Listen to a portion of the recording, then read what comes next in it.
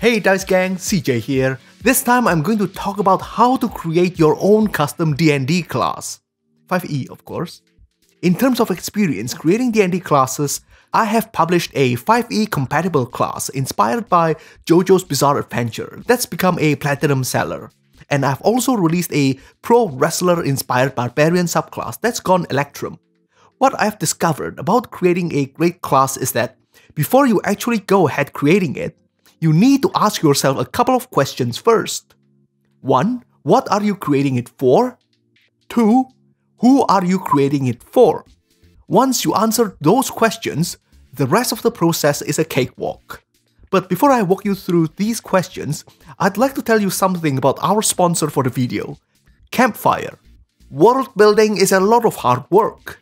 Whether you're a dungeon master or a budding writer, you know that you often waste too much time organizing stories and spend too little time doing actual writing. Speaking from experience here, folks. But organizing stories don't have to be hard. Because Campfire Pro's got tons of tools that can help you do that. Campfire is a writing software that lets you track character details, arcs, and backstories. It's got timelines that can help you hammer out plot points, you can track their character arc, and even use the map view to create all the locations you need. With the new expansion, World Building Pack, you can even get more tools to help build your story's world.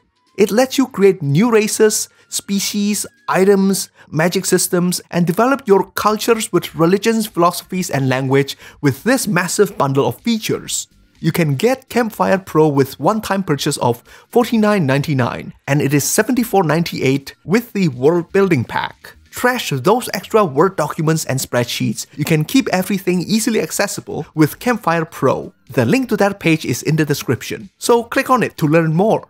Okay, now back to the questions. What are you creating the class for? Is it for fun, for sale, or is it just something you want to distribute to other fans? Once you've answered this, it is easier to answer the next one. If you're just making the class for fun, then most likely the main audience is you. But you will still have to convince your dungeon master, of course, to let you play it. Which means that you will still have to address the concerns of the DMs. Do they want balanced characters? And do they restrict the themes? I think it is fair if they don't want to see Inuyasha characters in their Middle Earth setting, and vice versa.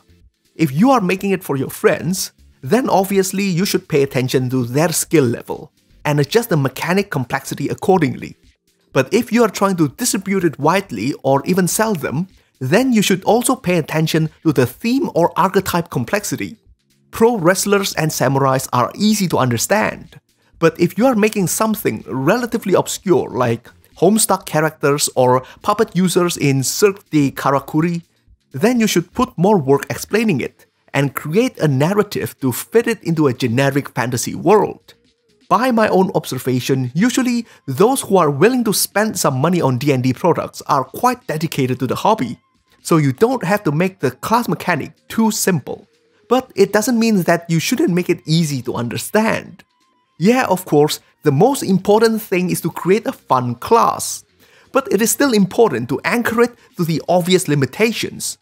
When I say limitations, I mean the complexity and efforts required to play the class. There are three categories of complexity that make up the overall complexity. In terms of roleplay, the character can be as complex as you can make it. But classes like warlocks and paladins have the added requirement of having to deal with a patron and keeping their oath. This actually provides extra work for the players and also the DMs, who may have to roleplay the patrons or keep tabs of the paladin's oath breaking. This is why I made the phantasms of my channeler class a non-sentient entity, because the mechanic is already quite complex, so I don't want to add an extra layer of work for everyone. In terms of mechanics, spellcasting is difficult for beginners, but once you get the hang of it, it is easy to understand other spellcasting characters. So if you want to target a class for other players who are already playing D&D, then it is easy for them to pick up. The easiest type of class features to understand are the ones that give you passive number bonuses, like the rogue's expertise or the fighting style for many of those martial classes. Unique features like the Monk's Deflect Missile and the Warlock's Eldritch Invocation take some getting used to, and can range between moderate to difficult. The Channeler's features are actually quite unique and hard to understand for those who haven't watched JoJo Part 3 and beyond, so I had to include a lot of diagrams to compensate for it. That's why theme is really important. If the player knows the source of inspiration for the class, then it is easier to roleplay and understand the class's mechanic. So, you should tie the roleplaying and the mechanic aspect with the class with a unifying narrative. Even if your target player know the source, write it as if they don't know the source because your custom class might be slightly different from what they imagined it to be. This part take a bit of writing skill, and you might have to rely on mnemonic techniques to help the reader remember and understand the class's role in the combat and role-playing part of the game. Also, always keep in mind how much work you are making the DM do. Sometimes they just won't allow the class if it is too much hassle to DM. When making class features, flat bonuses equals boring. And you know what's exciting? Features that you need to actively use. Especially those with high cost and high reward like the open hand monk's quivering palm. But you kinda have to balance them. If there are too many techniques that require action, the player might get too many options and forget about some of them because they usually just rely on a few of the best ones. If all the costs are too expensive, then the player might get dried out too quickly and become useless midway, or they might hoard all the resources and not do anything until they realized that the day had ended the last thing you need to do is some balancing.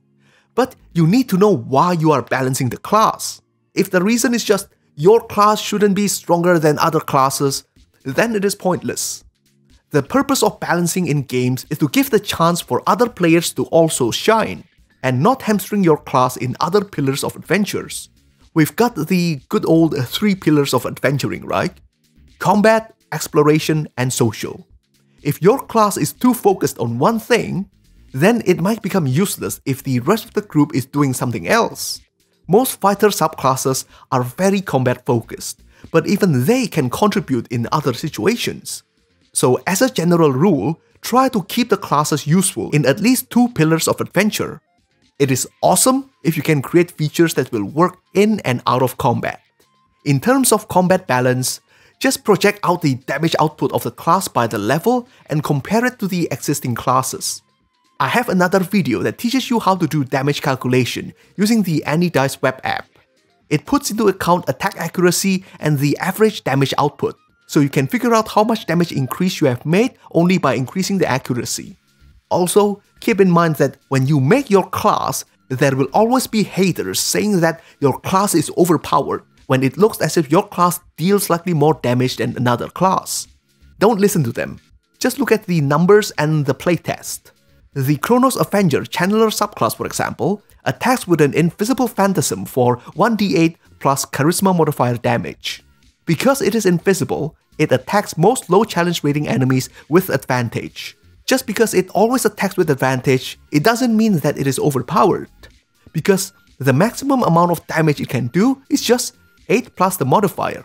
Rogues and fighters' maximum damage is higher. Sure, if you account for the accuracy, it deals more damage on average than the 2. But the average damage for monks is actually higher than the channeler at level 1. In terms of survivability, it is a bit more complex. But you shouldn't just look at the hit points and AC. Rogues, for example, may have okayish AC and the relatively small 1d8 hit die. But they have damage reducing features like Uncanny Dodge and Evasion. The Chronos Avenger subclass may not have as much AC as the Iron Myrmidon, but the fact that the subclass can hit most enemies from outside their opportunity attack range increases its survivability. So in summary, when creating a class, you need to watch out for these. The audience, complexity, fun factor, and finally balance. Balance comes last because it is more important to make sure that there are people who want to play your class and they have fun with it. The Channeler class is having a promotional discount to celebrate it going platinum. It is currently 50% off for the next 2 weeks after this video is published. But if it hits Mithril, then it's going to be extended. Alright, that's it for the video. CJ, over and out.